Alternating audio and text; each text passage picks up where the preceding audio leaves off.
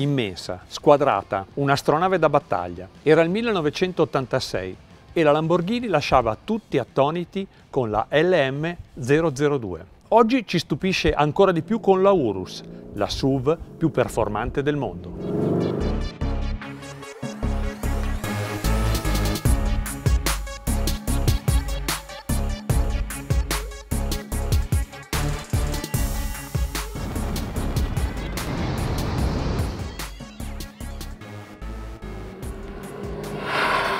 Interni e sensazioni in puro stile Lamborghini per questa Urus, SUV ovviamente estremo che si fregia del meglio della componentistica meccanica del gruppo Audi Porsche, addirittura con un motore V8 dedicato che le permette di scendere nel rapporto peso-potenza a 3,46 kg al cavallo, peso misurato secondo le direttive della comunità europea, in assetto di prova.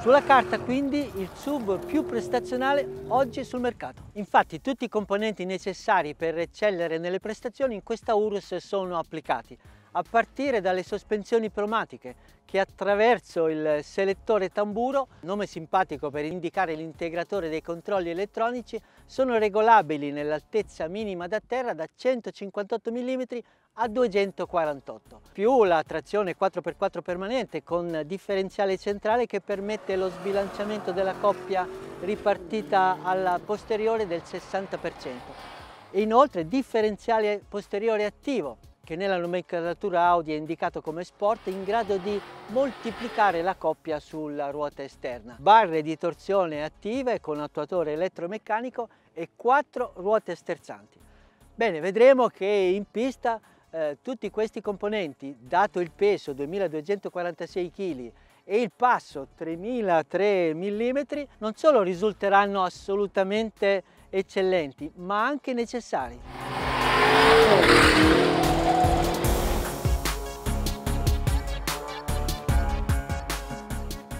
Sicuramente convincente il motore della Urus, L'architettura di base l'abbiamo già vista sui pluricilindri biturbo benzina montati sulle Cayenne e qui abbiamo l'8 cilindri, 4 litri, ancora più stupefacente perché è più spinto delle altre applicazioni. E allora andiamo subito ai numeri che ci fanno capire la sua competitività. 650 cavalli a 6.000 giri, 850 Nm a 2.250 con una potenza specifica di 162,66 cavalli litro e una PME massima di 26,74.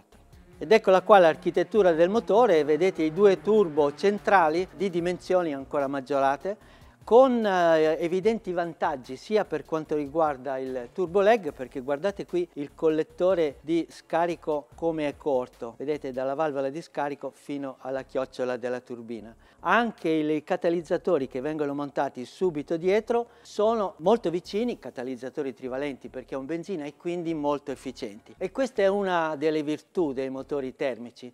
Quando si applicano in maniera intelligente i sistemi per migliorare le emissioni eh beh, si ritrova anche un incremento delle prestazioni. Di nuovo, comando della distribuzione con catena mossa dalla parte posteriore dell'albero motore, una raffinatezza in più rispetto agli otto cilindri longitudinali. Guardate questa bielletta, fa parte della sospensione motore, gli altri otto cilindri delle altre case non ce l'hanno e serve appunto a ridurre a zero i traballamenti del motore durante l'accensione e lo spegnimento, durante lo start e stop. E concludiamo con altri parametri caratteristici interessanti nel confronto dei vari motori. Velocità media dello stantuffo al regime di potenza massima 17,2 metri al secondo, indice di sicura affidabilità. E il prodotto tra la velocità media del pistone e la PME, sempre al regime di potenza massima, 411,74, valore stratosferico.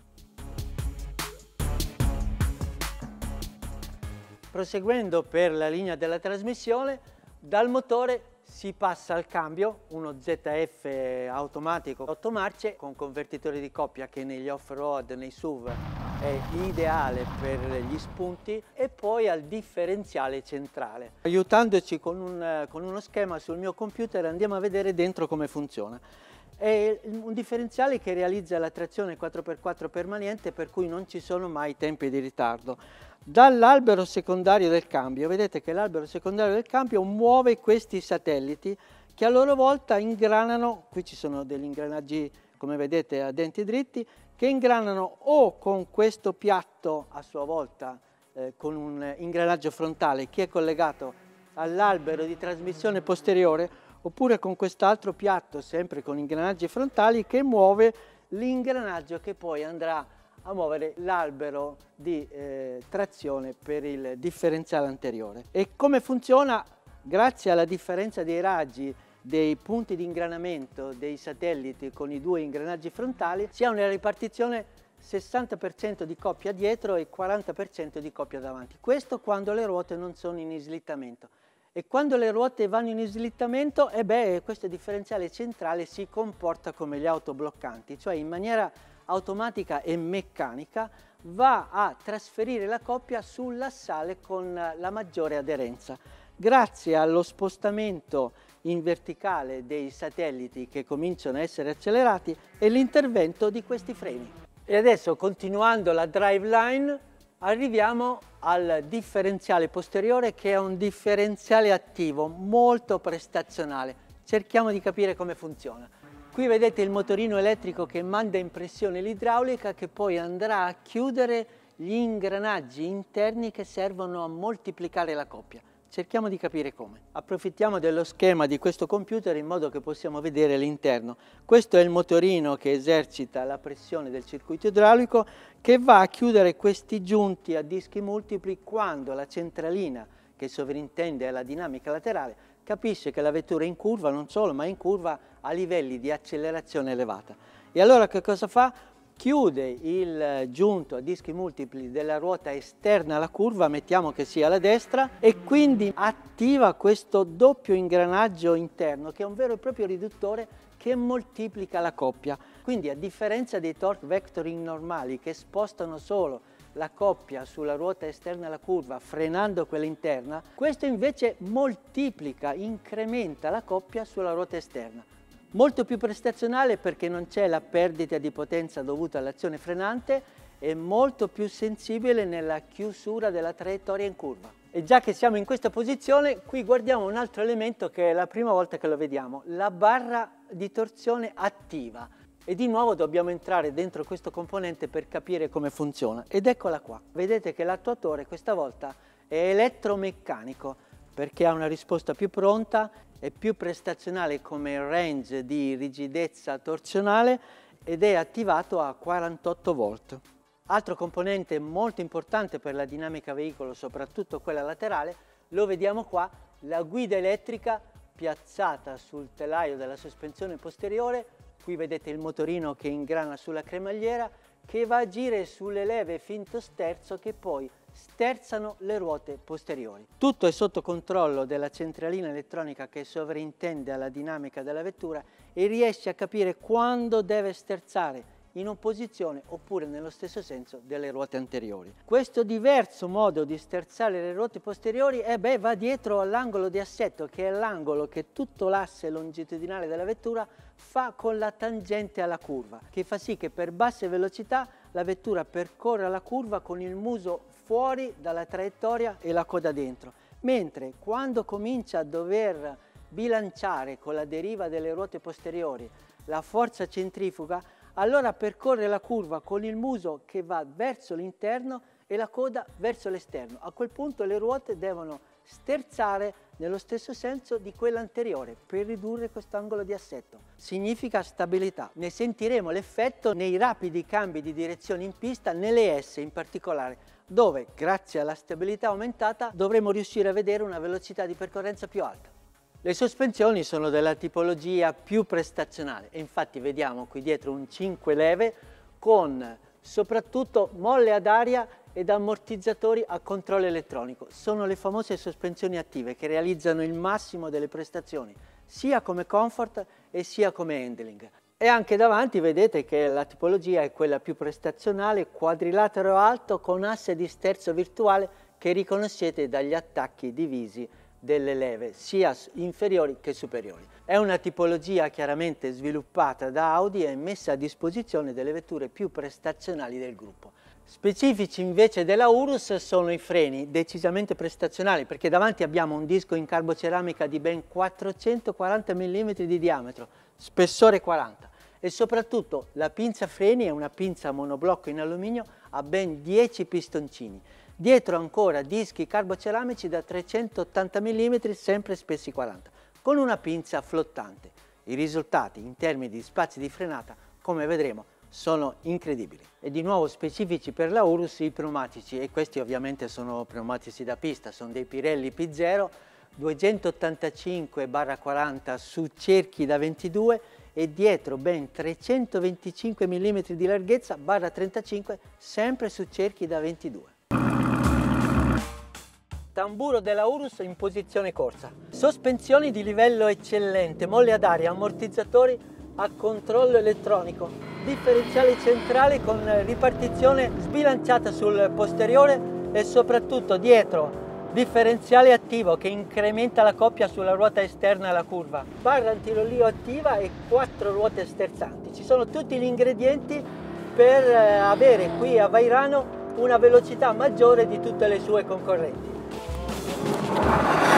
Per esempio qua nel punto 4 all'ingresso di questo curvone ci sono 20 km all'ora in più rispetto alla sua concorrente diretta che però non aveva le quattro ruote sterzanti e direi che sono proprio le quattro ruote sterzanti che riducendo l'angolo di assetto e dando maggiore stabilità riescono a favorire un incremento di temperatura, soprattutto nei doppi cambi di direzione veloci come questo, eh beh, la stabilità permette di incrementare eh, la velocità.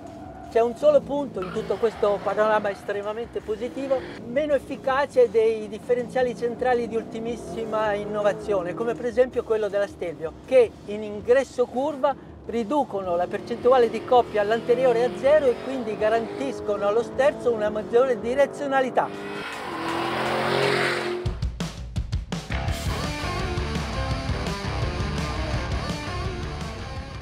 La prima soddisfazione sull'off-road con eh, questa Urus è qui nel twist, che d'altra parte è un ostacolo importante da verificare perché quando si va fuori si può trovare con grande facilità. Ed ecco che qui cominciamo, la pendenza come vedete è notevole, ma nessun problema di trazione e nemmeno nessun problema di interferenza con il fondo, data l'altezza minima da terra regolata nella posizione massima su 248 mm anche l'atterraggio perfetto. Secondo tracciato impegnativo la salita fino lassù in punta, sempre con il tamburo su terra. In questo primo tratto possiamo, nonostante le ruote da pista, prendere un po' di velocità. Qui freno perché c'è una bella cunetta. E poi qui la pendenza è notevole, eh, ma andiamo su di slancio e guardate qua che che buco incredibile, ma va su benissimo, quasi come un off-road vero. E adesso scendiamo in questa discesa dal 70% e poi la rifaremo in salita.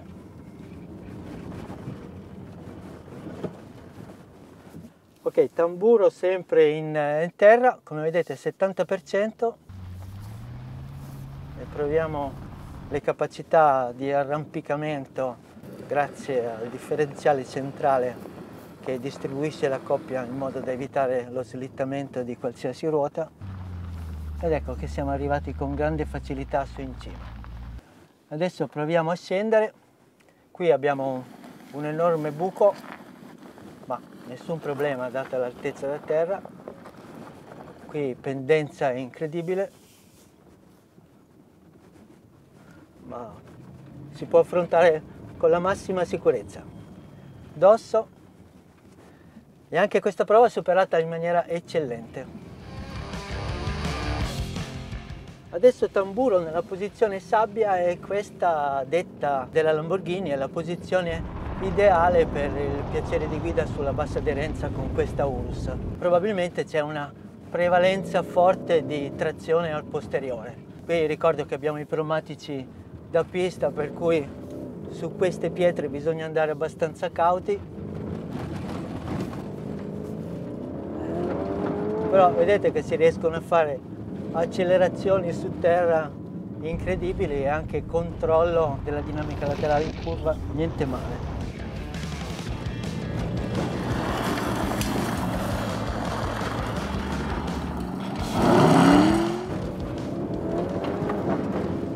Avete visto le capacità di riallineamento su fondi a bassa aderenza? Io che l'ho provato anche sul ghiaccio vi posso garantire che sul ghiaccio è eccezionale.